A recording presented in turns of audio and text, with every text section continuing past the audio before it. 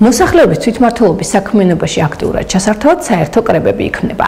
ეს არის მოსახლეობის თვითორგანიზაციისა და ადგილობრივი თვითმმართველობის განხორციელებაში მოქალაქეთა მონაწილეობის ფორმა, რომელიც უზრუნველყოფს შესაბამის დასახლებაში რეგისტრირებული ამომრჩევლის, ამ დასახლებისა და მუნიციპალიტეტისთვის მნიშვნელოვანი საკითხების განხილვის, გადაწყვეტისა და აღნიშნული მუნიციპალიტეტის ორგანოების წინაშე მნიშვნელოვანი საკითხების ინიცირების პროცესში ქმედით ჩართულობას.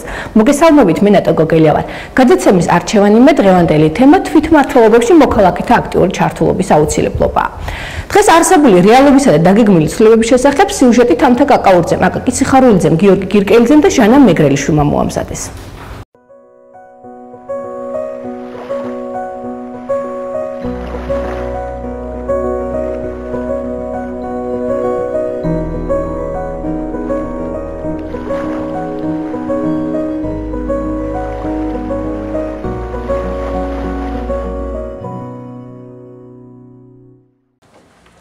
განიხილავს შესაბამის დასახლებისთვის მნიშვნელოვან სოციალურ და ეკონომიკურ საკითხებს. ქალაქ ოზურგეთის მუნიციპალიტეტის ორგანოებისათვის წარსაკვიდან ამზადებს შესაბამის წინადადებებს. იღებს ქალაქ ოზურგეთის მუნიციპალიტეტის საკრებულოს დეპუტატები ბიუროს ხდომაზე საერთო კრების დებულებას განიხილავენ. საერთო კრებები თვითმმართველობაში მოქალაქეთა ჩართულობის ახალი მექანიზმია, რომელიც მთავრობის ინიციატივით 2015 წლის ივნისში დაკანონდა.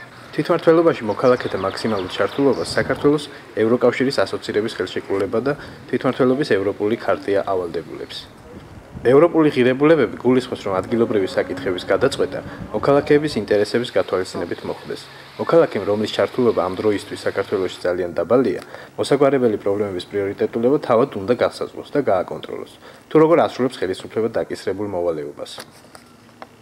აი ჩვენი კვლევის შედეგად გამოვლინდა რომ მოსახლეობას ნდობა პრინციპში დაბალი აქვს იმიტომ რომ რამდენჯერ მივაკითხეთ მაინც ისე გადაწყვიტეს როგორც მათ უნდათ აა თუმცა ხაზი გაუსვეს ერთ რამეს რომ თუ საკითხი მნიშვნელოვანია სოფლის მობილიზებაც არ არის რთული და ჩვენ ჩავერთვებით.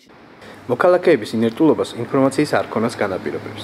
გორია ნიუსის მიერ გამოკითხულ მოქალაქეთა 70%-ს არც კი სმენია დასახლების საერთო კრების შესახებ. კანონის ინიციატორები კითხულიან, რომ საერთო კრებების არჩევით მოქალაქეთა ჩართულობა გაიზრდება. რაც შეეხება სოფლის კრებებს ამის დებულები ძირითადად ნოემბერ-დეკემბერში მიიღეს მუნიციპალიტეტებმა ჩვენც ვიყავით ამ პროცესში ჩართული რომ გაგვეწია გარკვეული სარეკომენდაციო სამუშაოები და ვფიქრობთ რომ უახლოეს მომავალში უკვე არსებობს სრული სამართლებრივი საფუძველი რომ სოფლის სოფლის კრებებიც გააქტიურდეს. მიუხედავად იმისა რომ კანონის მიღებიდან 8 თვეა გასული ჯერჯერობით საქართველოს არც ერთ სოფელში საერთო კრება არ აურჩევიათ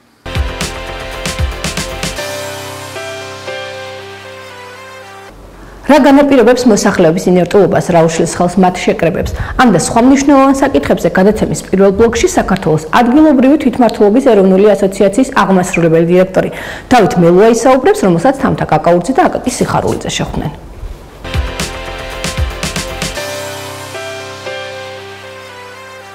თქვენი აზრი გვაინტერესებს თვითმმართველობის პროცესში მოქალაქეთა ჩართულობის შესახებ, რამდენად მნიშვნელოვანია მოქალაქეების ჩართონ ამ პროცესში და ზოგადად რომ შეგვიფასოთ ამ ჩართულობის პროცესში რა პრობლემა შეიძლება იყოს პირველი ეტაპისთვის და როგორ უნდა გადაიჭრას ეს პრობლემები.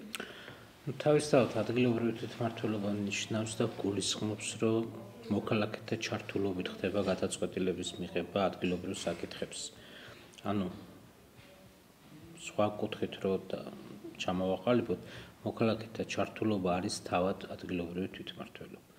აქედან გამომდინარე, თუ მოქალაქეთა ჩართულობა არ იქნება, საუბარი იმაზე, რომ ქვეყანაში არის ადგილობრივი თვითმმართველობა, ფუჭი.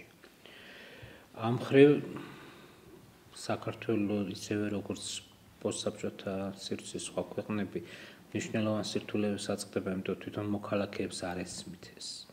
და ხშირ შემთხვევაში ისინი ადგილობრივ თვითმმართველობას განიხილავენ როგორც ცენტრალური ხელისუფლების ნაწილს და სურთ არა ჩართულობა, არამედ სარგებლის მიღება ჩართულობის გარეშე. რაც რთული პრობლემაა, იმიტომ რომ შეუძლებს ხდის რეალური თვითმმართველობის განხორციელებას.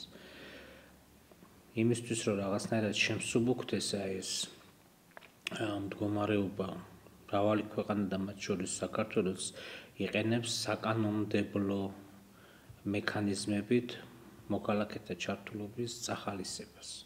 ანუ რაღაც კანონმდებლობაში შემოდის გარკვეული უფლებები ან საშუალებები, რომლითაც შეიძლება მოქალაქეებმა ისარგებლონ და ჩაერთონ ადგილობრივი გადაწყვეტილების მიღების პროცესში. საქართველოსში ეს ადრე იყო ზოგად ადმინისტრაციული კოდექსში, რაც გულისხმობდა, რომ მოქალაქეები შეეძლოთ კოლეგიალური ადმინისტრაციული ორგანოს მუშაობაში მიიღოთ მონაწილეობა. თავისთავად ხადი ახლა ვერ ვიტყვით, რომ მოქალაქე და რიგი იდგა ასეთი კოლეგიალური ორგანოების კარებთან. შესაბამისად, კიდე ერთი ნაბიჯი წაიწიეს წინ და წამოვიდა ახალი ინიციატივა, რომ შექმნილიყო სპეციალური ჯერ ჩაფიქრებულიყო საერთოდ სპეციალური კანონის შექმნა.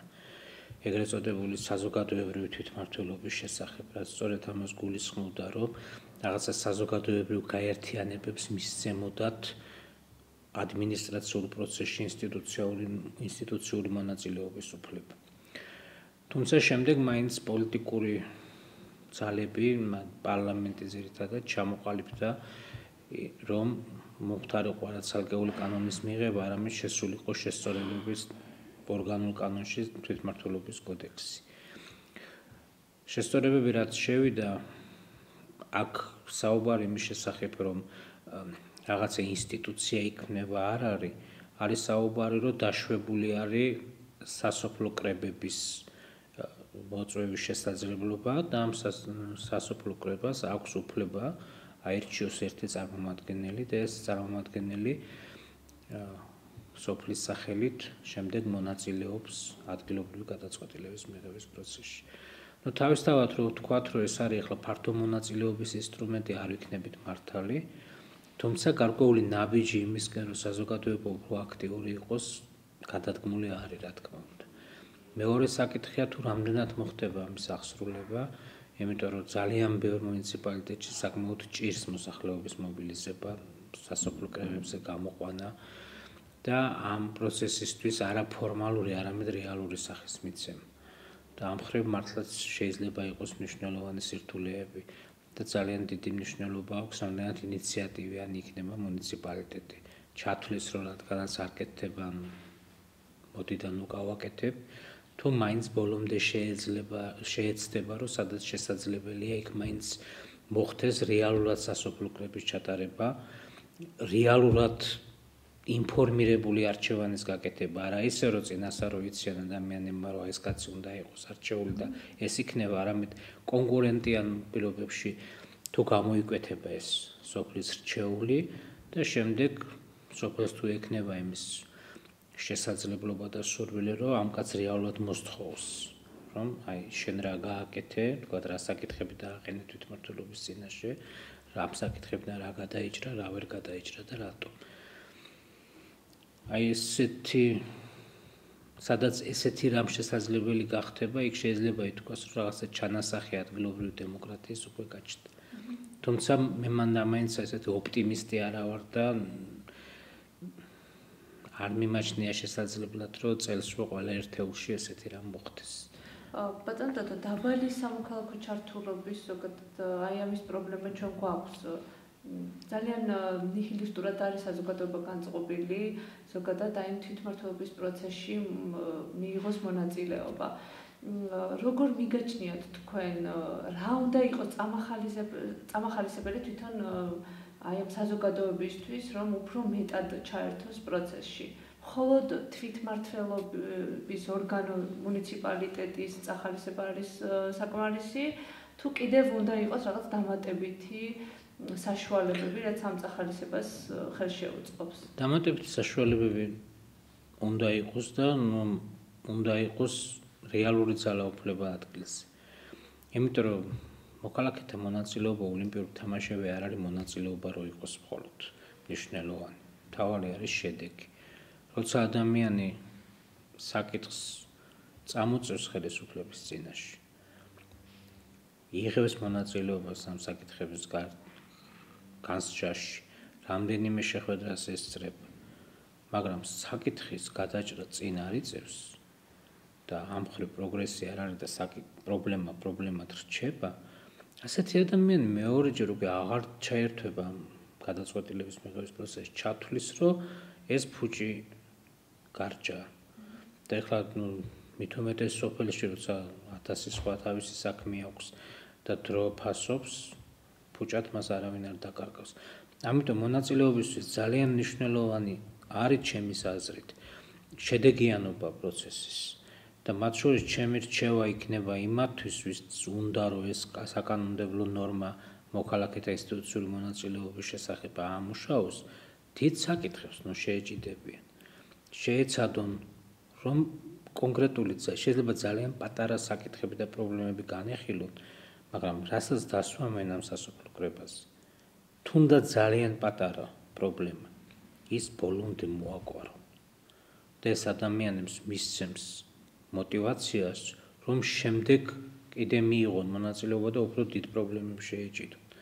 თორე თუ დაისმება ისეთი პრობლემები, რომლის მოგვარების თავი არც მუნიციპალიტეტს აქვს, არც სოფელს და არც ცენტრალურ ხელისუფლებას და კრება დარჩება მხიარული, ასე რომ ვთქვა, ალეგორიულად. ასეთ შემთხვევაში მეორეჯერ ესეთი კრება უკვე აღარ გამართება. ანუ მნიშვნელოვანია ეკონომიკური მნიშვნელოვანი არის ძალაუფლების არსებობა, ანუ რეალურად ძლიერი თვითმმართველობის არსებობა. და მე ვთქვი, რომ თვითმმართველობა თავისთავად ნიშნავს მოქალაქეთა მონაწილეობას. და როდესაც თვითმმართველობა არის ძლიერი, მას ხელეწიფება პრობლემებთან მიმართებაში მიიღოს გადაწყვეტილებები და კონდეს ფინანსური სახსრები, რომ ეს მოაგვაროს. ადგილზე უნდა ხდებოდეს ეს გადაწყვეტილება. თუ მე ვარ სოფლის მაცხოვრებელი და ვიცი რომ ეს ადამიანი რომელიც მე მესაუბრება თვითონ არ არის გადაწყვეტილების მიმღები, ამან ჩემი ნასაუბრები უნდა წაიღოს კიდე სადღაც სხვაგან და იქ უნდა იყოს გადაწყვეტილება მიღებული. მაშინ აღარა ვარ მოტივირებული ამაში მივიღო მონაწილეობა და ეს არის რეალობა დღეს საქართველოში. იმ თუ შევადარებთ აი რო წამოვიდეთ 2014 წლის ივნისი, ივლისი, სექტემბერი, ხო? გაცილებით უფრო მეტი საზოგადოებრივი აქტივობა იყო, გაცილებით უფრო მეტი ინტერაქცია იყო ადგილობრივ ხელისუფლებასა და მოქალაქეებს შორის. დღეს ინტერაქცია შესუსტებულია, იმიტომ რომ აი მოქალაქეები უკვე თანდათან თვლიან, რომ ნუ შედეგი არ დგას და ასე ვთქვათ, მანდამაის დიდი ინიციატივა და мотиваცია ხელის ადგილობრივ გადაწყვეტილების მიღებაში ისი მიზეზით არის ეს ბატონად შეგვიძლია ობიექტური ფაქტორების, იმიტომ რომ ხა შეიძლება თქვას, რომ სუბიექტური ფაქტორებიც არის ზოგან შეიძლება ზოგერთეულებში შეიძლება ადგილობრივი მოხელე არ არის კვალიფიციური, შეიძლება არჩეულ პირს არ აქვს საზოგადოებასთან ურთიერთობის უნარჩვევი, მაგრამ ეს არ არის მთავარი. მთავარი არის ობიექტური მიზეზები, ობიექტური მიზეზები გახლავთ ის, რომ დღეს ჩვენი თვითმმართველობა ჯერ კიდევ სუსტია რეალური პრობლემებთან მიმართებაში.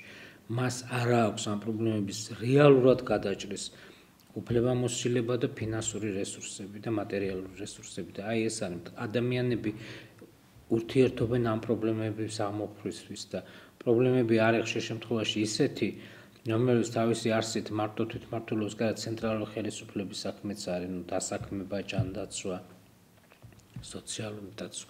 ამიტომ ამბობდი მე, რომ ამ კრებებზე ძალიან კარგი იქნება, თუ პატარა საკითხებით გან დაიწყებენ.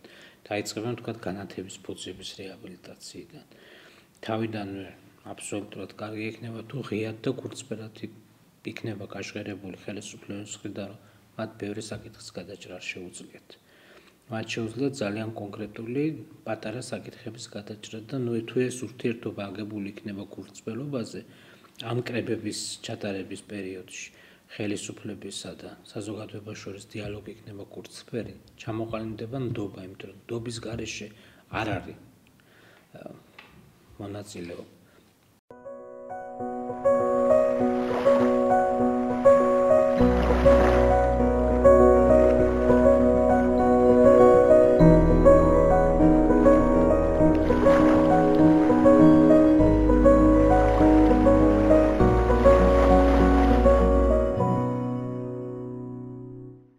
მოქალაქეები თავიანთ პასიურობას სხვადასხვა მიზეზით ხსნიან. უმრავლესობა მიიჩნევს, რომ ხელისუფლებასთან საუბარს აზრი არ აქვს, თუმცა არიან ისეთები, რომლებიც ხელისუფლებასთან თანამშრომლობით ბევრი პროექტი განახორციელეს. ამის შესახებ სპეციალური სიუჟეტი ბექა უნგიაძემ და დავით ჩხიკვაძემ მოამზადეს.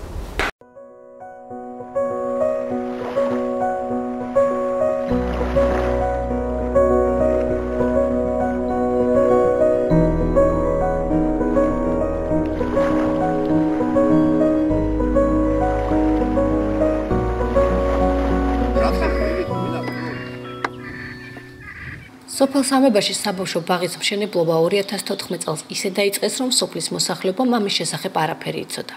მათთვის არც ის იყო ცნობილი, რომ ბიუჯეტის თანხით კერძო საკუთრებას არემონტებდნენ, შესაბამისად არც იმაზე გაუმახვილებიათ ყურადღება, რომ სარემონტო სამუშაოები უხარისხოდ მიმდინარეობდა და ამის გამო საბავშვო ბაღის დასრულებას 2 წელი დასჭირდა.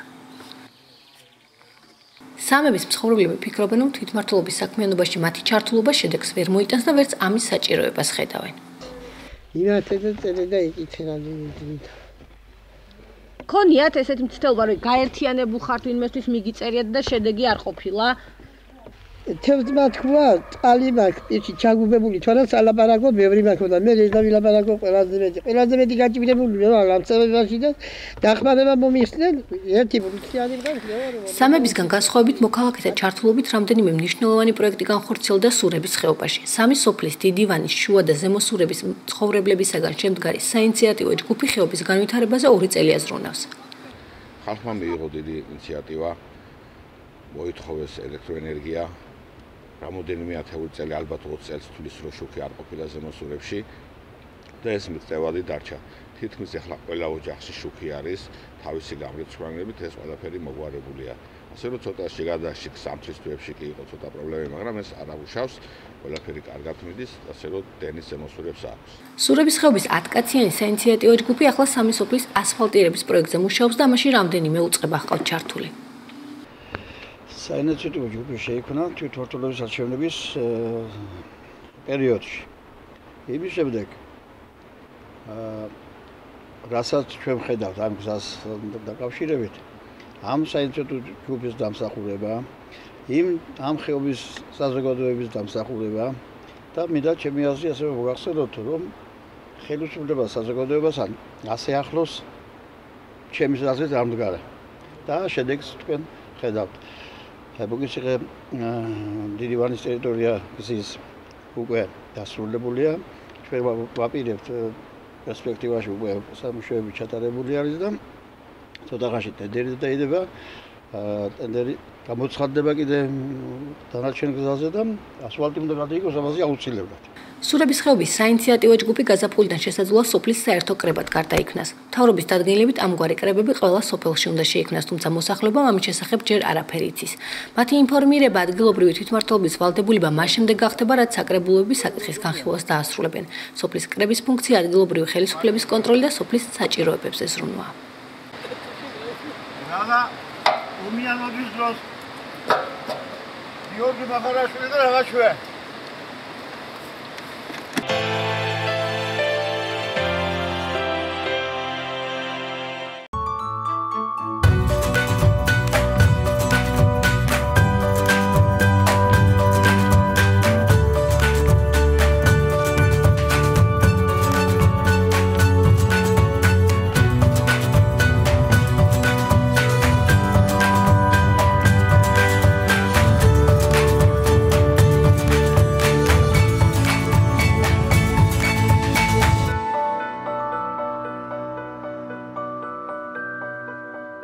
ჩაისუნთქებ ციგნიერი ჟანგბადი ივლიტას ბიბლიოთეკა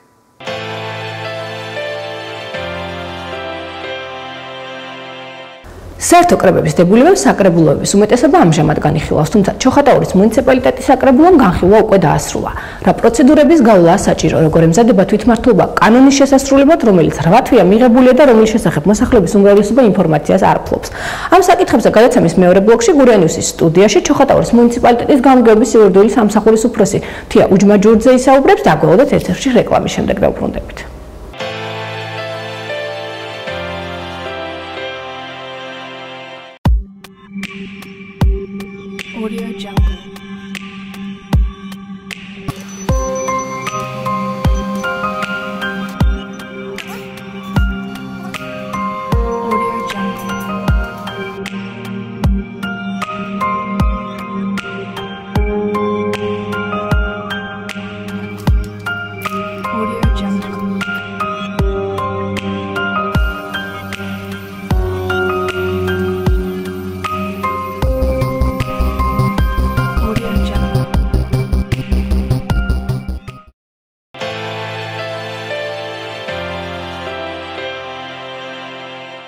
ჩვენ ისევ ეთერში ვართ ჩვენი გადაცემის სტუმარია ჩოხატაურის მუნიციპალიტეტის გამგეობის იურიდიული სამსახურის უფროსი თეო ჯმაჯურიძე მოგესალმებით ხალბატონო თეა დიდი მადლობა სტუდიაში მოგწანებისთვის საუბრობთ თვითმართველობაზე მოქალაქეთა აქტიურად ჩართულობაზე უფრო დეტალურად კი საერთო კრებებზე რომელიც სახელმწიფოს გაწყვეტილებით იმიზნით იქნება რომ მოსახლეობა თვითმართველობის საქმიანობაში იყოს უფრო აქტიურად ჩართული ამას ჩვენ ევროპასთან ასოცირების ხელშეკრულებაც გვავალდებულებს მუნიციპალიტეტების უმრავლესობაში საკრებულოები დებულებებს ამ ამ ეტაპზე განიხილავენ, როგორც ვიცით, ჯოხატაურის მუნიციპალიტეტმა უკვე დაასრულა დებულების განხილვა, რა ხდება რა პროცედურების გავლა გვიწევს აწი. აა ადგილობრივი თვითმმართველობის კოდექსში ივლისის თვეში 2015 წლის ივლისის თვეში შეტანა მაცრულებამ, რომელიც აგვისტოს თვეში ამოქმედდა, განაპირობა, რომ კანონის მიხედვით განისაზღვრა საერთო კრების ინსტიტუტი. აღნიშნული კანონის მიღებიდან 6 თვის ვადაში მუნიციპალიტეტის საკრებულოს უნდა დაემტკიცებინა საერთო საერთო კრების ტიპური დებულება, რომელიც ჩოხატაურის მუნიციპალიტეტის საკრებულომ დაამტკიცა 2016 წლის თებერვლის თვეში. საერთო კრების დებულებით განისაზღვრება საერთო პროექტების მოწვევის ინიცირების მქონე პირები, ვისაც აქვს უფლება მოწვევა, მოიწვიოს საერთო კრება, ასევე განისაზღვრება თითეული სუბიექტის მიერ საერთო კრების მოწვევის პროცედურები.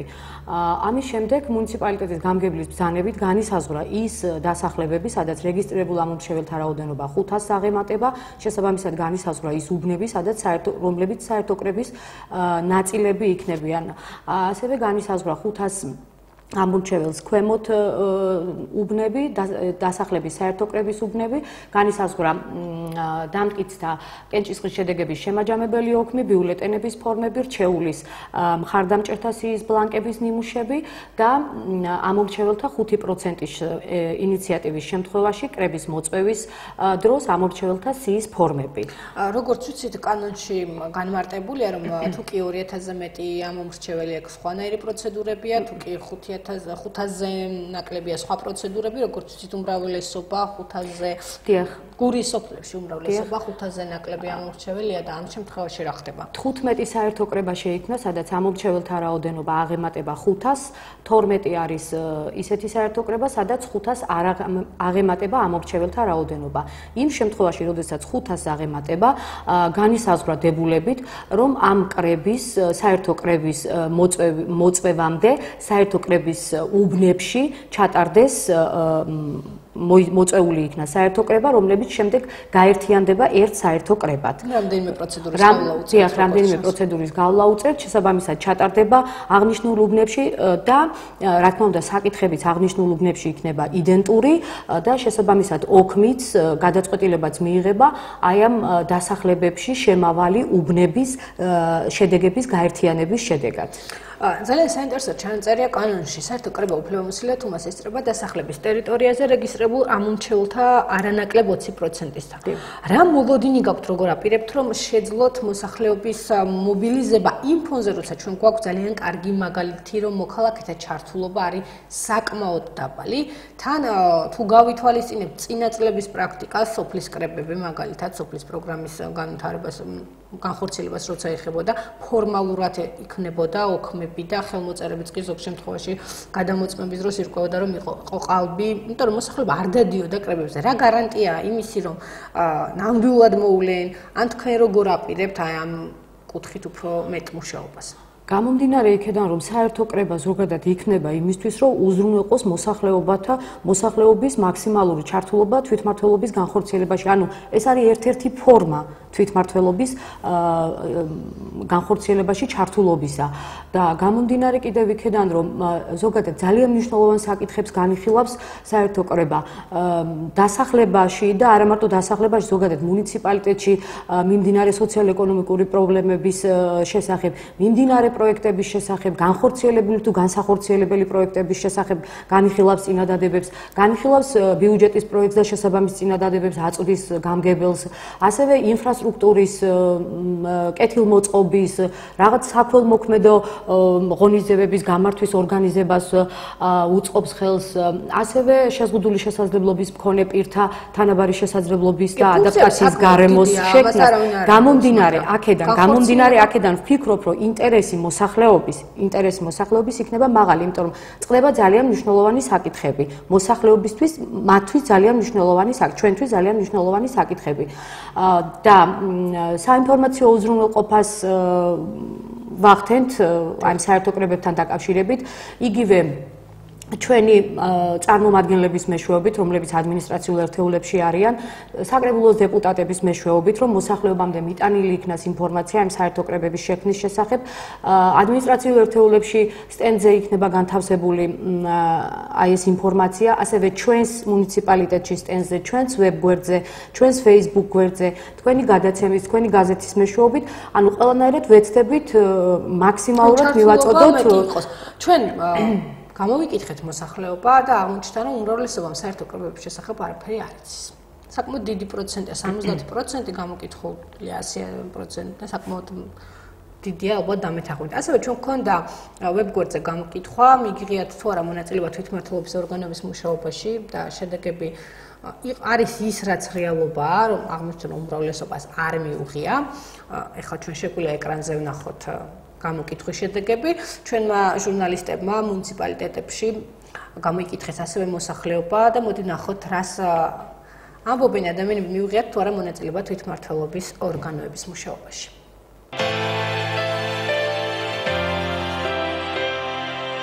თუ არა მონაწილეობა ადგილობრივი თვითმმართველობის მუშაობაში? არა. თვითმმართველობის მუშაობაში? ია. არა. მიგიღია თუ არა მონაწილეობა ადგილობრივი თვითმმართველობის საქმიანობაში? არა. მიგიღია თუ არა მონაწილეობა ადგილობრივი თვითმმართველობის მუშაობაში? არა. თუ არა მონაწილეობა ადგილობრივი თვითმმართველობის მუშაობაში? არა.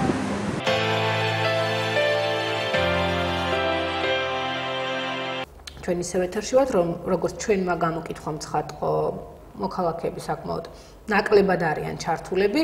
აა თქვენ თქვით რომ ეს იქნება ინფორმაციული კუთხით საკმაოდ აქტიური მუშაობა, თუმცა გარანტია გაქვთ იმისი, რომ მოსახლეობა შეიკრიბება.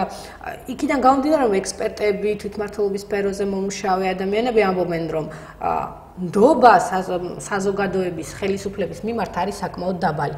რა გარანტია გაქვთ თქვენ მუნიციპალიტეტს ამ შემთხვევაში, რომ ეს ნდობა აიწევა, რომ შეკრება მოხდება, რომ ნამდვილად შეძლებთ ამ მომრჩეულთა 20%-ის მობილიზებას საერთო კრებაზე, იმისთვის, რომ ეს კრება იყოს უფლებამოსილი? აა დიდი მეც ვიტოვებ, რომ გამომდინარე იმ საკითხებიდან, რომლებიც წეგან ჩამოთვალე, მოსახლეობას ექნება მაღალი ინტერესი საერთო კრების მიმართ. ის რომ თქვა, ჯერ ინფორმაცია არ აქვს და ბევრმა არ იცის საერთო კრების შესახებ, ეს ბუნებრივიცაა, იმიტომ რომ ჯერ შეკრება პირველი საერთო კრების არც ერთი შეკრება არ ჩატარებულა. აა თუმცა კანონის მიღებიდან 6 თვეში გვევალებოდა დებულების დამტკიცება, რომელიც იქნა დამტკიცებული. ხო, თუმცა ინფრასტრუქტურის სამინისტროს ამასაც აუცილებლად გეტყვით სამინისტროს უფრო კონკრეტულად მინისტრის მოადგილეს აქვს ინფორმაცია, რომ საკრებულებმა დეკემბერ ნოემბერში მოახდინეს ამ დებულების მიღება როგორც ჩანს არასწორი ინფორმაცია მიაწოდა ადგილობრივმა თვითმმართველობამ. ა ეს არ გახლავთ პრობლემა, იმიტომ რომ როგორც გითხარით, აგვისტოს თვეში შევიდა კანონის ეს ცვლილება ძალაში და აქედან მისი ამოქმედებიდან 6 თვის ვადაში შეგვეძლო აი ამ დებულების დამტკიცება. შესაბამისად, ახლა ზოგმა შეიძლება დაამტკიცა ეს 4 თვის შემდეგ, ну, თავარია რომ 6 თვის ვადაში იქნა ეს დებულება დამტკიცებული. აი, ერთი სოფლის მაგალითზე რო განვიხილოთ, ქალბატონ თეა, მაგალითად ხიდის თავში. აა, საკმაოდ დიდი სოფელია. როგორ მოხდება კრე ამ ადამიანების შეკრება ვიცით, რომ რჩეული უნდა აირჩიონ? რა პროცედურები უნდა გაიარონ, თქვა ხიდის თავის მოსახლეობა? აა ანუ საერთო კრების მოწვევის უფლება აქვს. საერთო კრების ამომრჩეველთა, ანუ აი ამ დასახლებაში რეგისტრირებულ ამომრჩეველთა არანაკლებ 5%-ს მუნიციპალიტეტის გამგებელ საკუთარი ინიციატივით ან საკრებულოს შუამდგომლობით და საერთო კრების რჩეულს მისი არსებობის შემთხვევაში, ანუ რჩეულის არსებობა არ წარმოადგენს აუცილებელ პირობას საერთო კრების არსებობისთვის. რაც შეეხება პირველ შემთხვევას რო განვიხილოთ 5%-ის მიერ საერთო კრების მოწვევის შემთხვევაში, აი ამ შემთხვევაში იქნება სამკაციანი საინიციატივო ჯგუფი, რომლებიც რეგისტრაციის პროცედურას გადიან მუნიციპალიტეტის გამგეობაში და აგროვებენ ამომრჩეველთა გადაეცემათ ამომრჩეველთა სიის ბლანკი და აგროვებენ 5% ამომრჩეველთა 5%-ის ხელწერებს. და ამის შემდეგ განისაზღვრება უკვე კრების დღის წესრიგი, კრების მოწვევის თარიღი თარიღი, დრო და ასე შემდეგ. რაც შეეხება გამგებლის მიერ საერთო კრების მოწევას, გამგებლის გადაწყვეტილებიდან არაუადრეს 15 და არაუგვიანეს 30 დღისა მოხდება საერთო კრების მოწევა და გამგეობის დებულებაში განისაზღვრა ის სტრუქტურული ერთეული, რომელიც ორგანიზებას გაუწევს საერთო კრების მოწევას და ზოგადად საორგანიზაციო საკითხებს მოაგვარებს. ეს ეს არის ადმინისტრაციული სამსახური, რომელიც უზრუნველყოფს ამ მოწეს თავის შემთხვევაში როგორც ხიდის სამი ხიდის თავის შემთხვევაში გეტყვით ახლა ხიდის თავის შემთხვევაში. ანუ ახალშენში და ჭაჭიეთში იქნება საერთო კრება სადაც არის ამორჩევლები 500-ზე ნაკლები შესაბამისად იქნება თითო საერთო კრება რაც შეეხება ხიდის თავს უშუალოდ ხიდის თავს ვინაიდან ამორჩეველთა რაოდენობა 500-ს აღემატება. რა თქმა უნდა შეიქნება ერთი საერთო კრება ოღონდ აი ერთი საერთო კრების შიგნით შიგნით იქნება უბნები. ეს იქნება მეწიეთი, ეს იქნება ზენობანი თუ კიდე რომელი პრობლემაც წარმოიშვა, მათ სად უნდა შეიკრიბოს ეს ადამიანები, იმიტომ რომ ინფრასტრუქტურის პრობლემა მუნიციპალიტეტებში დგას. ყოველი კონკრეტული კრების მოწვევის წინ განისაზღვრება დრო. ადგილი, თარიღი და ну ალბათ სადაც იქნება უკეთესი შეკრება.